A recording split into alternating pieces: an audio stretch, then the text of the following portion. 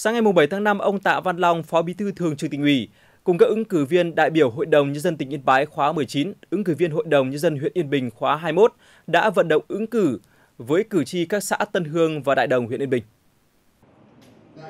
Tại buổi tiếp xúc, sau khi đại diện Ủy ban Mặt trận Tổ quốc huyện Yên Bình đã giới thiệu tóm tắt tiểu sử của 7 ứng cử viên đại biểu Hội đồng nhân dân tỉnh khóa 19,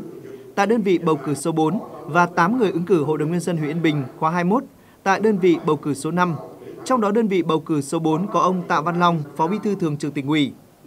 Các ứng cử viên đã báo cáo trước cử tri về dự kiến chương trình hành động nếu được bầu làm đại biểu Hội đồng nhân dân tỉnh, huyện nhiệm kỳ 2021-2026 các ứng cử viên đều bày tỏ mong muốn và quyết tâm cao nếu được tín nhiệm trúng cử sẽ thường xuyên lắng nghe những tâm tư nguyện vọng, ý kiến kiến nghị của cử tri để phản ánh kịp thời đến Hội đồng nhân dân các cấp.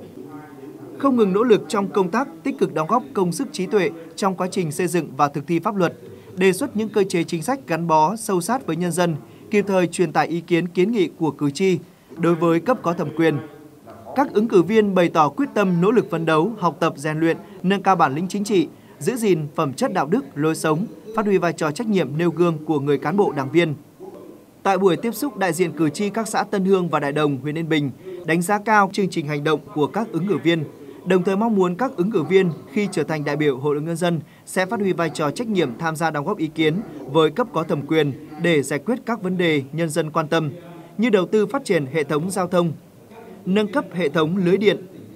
quan tâm hơn nữa đến lĩnh vực giáo dục, nhất là giáo dục mầm non, Thay mặt các ứng cử viên, Phó Bí thư Thường trực Tỉnh ủy Tạ Văn Long đã trân trọng tiếp thu các ý kiến kiến nghị của cử tri. Đồng thời, hứa nếu trúng cử sẽ tích cực lắng nghe, gần gũi nhân dân, truyền tải kịp thời những thông tin kiến nghị của cử tri tới các cơ quan liên quan, đồng thời giải quyết thấu đáo những vấn đề nội dung thuộc quyền hạn của mình.